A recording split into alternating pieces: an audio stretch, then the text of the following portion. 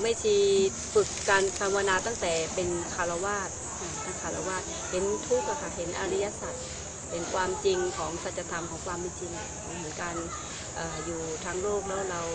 มีความรู้สึกเห็นตามความจริงว่าทุกอย่างเกิดมา ก็มีเกิดมีแก่มีเจ็บมีตายนะคะก็พอมาบวชแล้วก็เลื่อมใสเลื่อมใสในพุทธศาสนามีศรัทธาถึงได้ปรงผมบวชบูชาพระพุทธเจ้า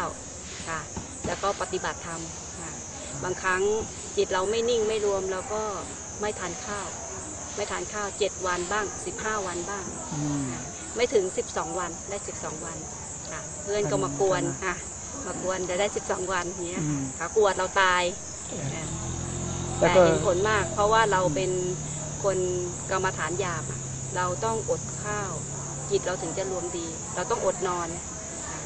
บางครั้งไม่นอนสามวันสามคืนเลยค่ะเพียรยืนเดินนั่ง